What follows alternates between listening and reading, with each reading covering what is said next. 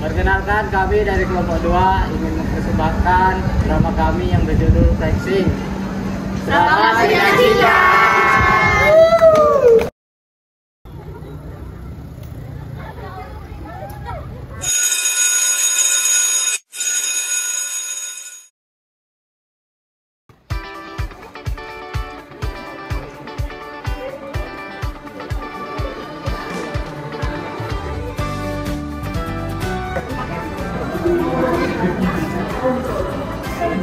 Wih, HP baru. Ah, iya. HP baru nih. Wih, Baru ya, Dan? iya, lah. Ayo foto dulu ya.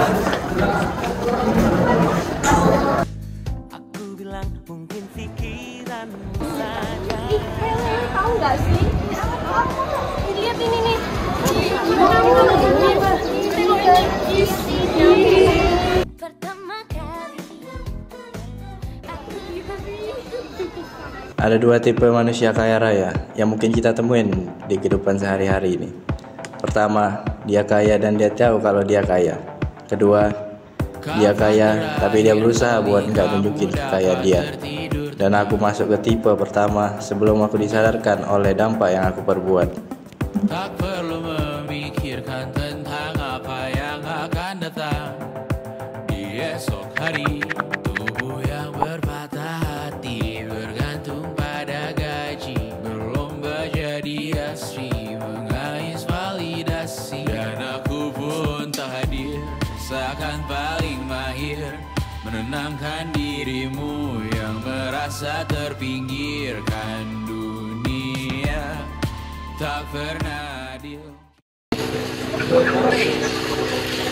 Ya, ya, ikut, ikut,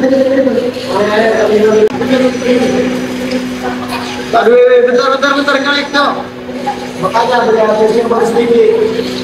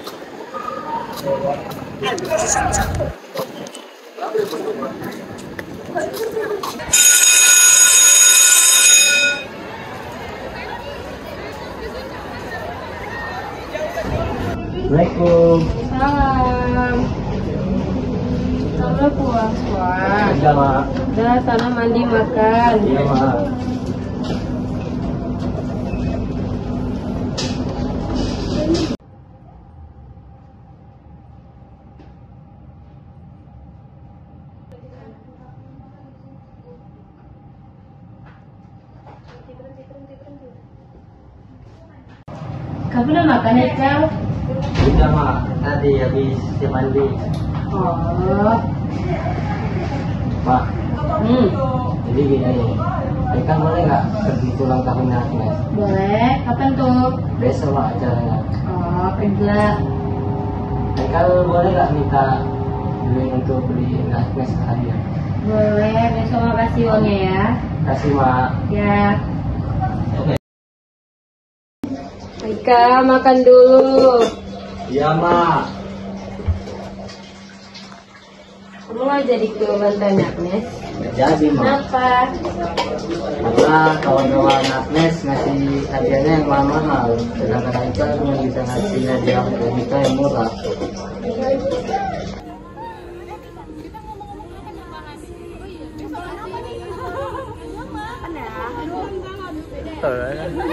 Kelompok kayak gini anjing. Eh, foto dulu yuk.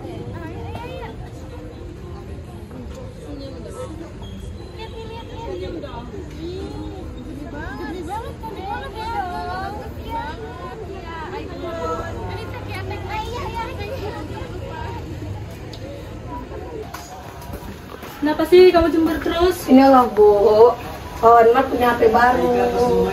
Mar juga pengen. Kameranya nggak dua atau tiga pun nggak apa-apa bu, yang penting iPhone. Ya itu kan nggak punya duit nak.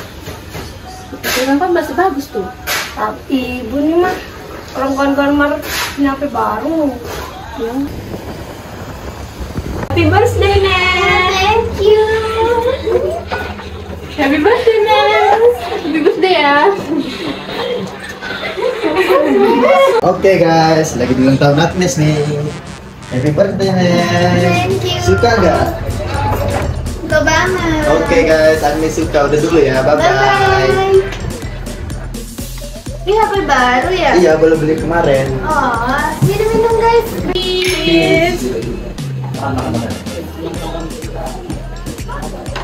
Eh, foto dulu yuk pakai HP baru. Go. Go. Oke. Oke.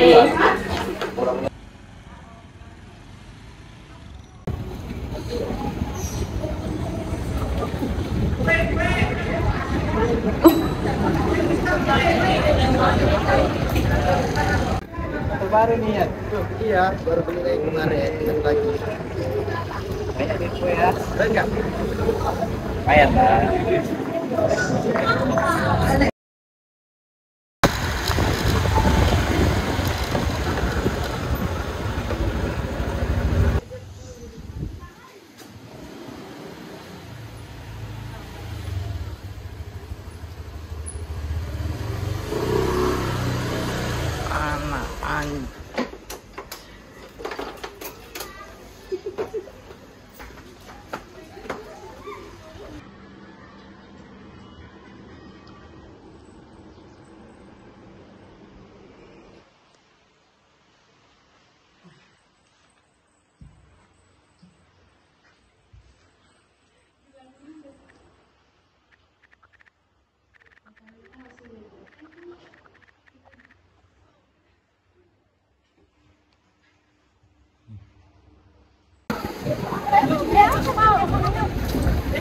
嗯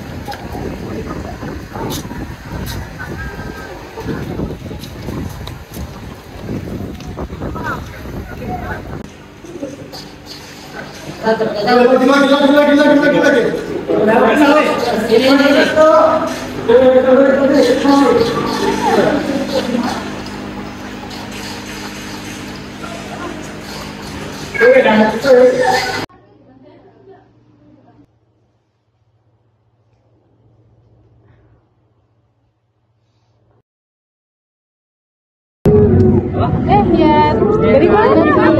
rumah. Aku minta maaf ya guys, selama ini aku apa kalian. Iya. Santai aja. Kita kan kawan. Dan kali jangan gitu ya. Oke?